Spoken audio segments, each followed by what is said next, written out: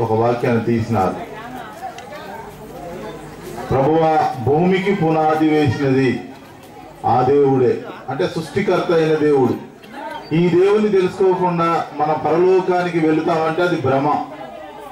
ఆయనే భూమికి పునాది వేసినాడు. ఆయనే ఆకాశములను నిర్మించినాడు. ఆయనే సృష్టికర్త.